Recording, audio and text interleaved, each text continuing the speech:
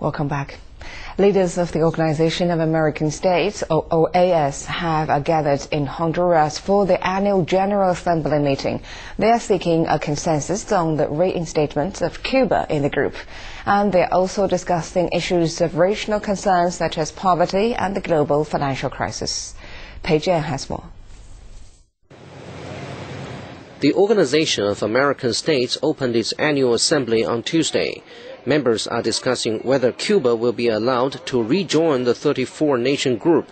The country was expelled in 1962.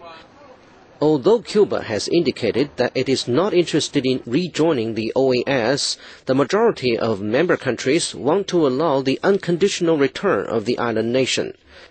But the U.S. has said it will only vote in favor of the reinstatement if Cuba is open to some political changes.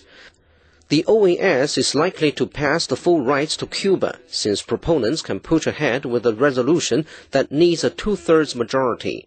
Besides Cuba's membership, the group promised to discuss other topics of regional importance, such as the global financial crisis and poverty. The OAS Secretary General highlighted both in his opening statement. The social and political effects of this crisis worry us, such as losing the fight against poverty. Some predict that more than 12 million people run the risk of falling into poverty in the next few years. Those who lead the fight against poverty and are responsible for providing job security also face the threat of the financial crisis. We must not allow the crisis to affect all social sectors and hurt the weakest. U.S. Secretary of State Hillary Clinton is attending the assembly. The meeting will end on Wednesday.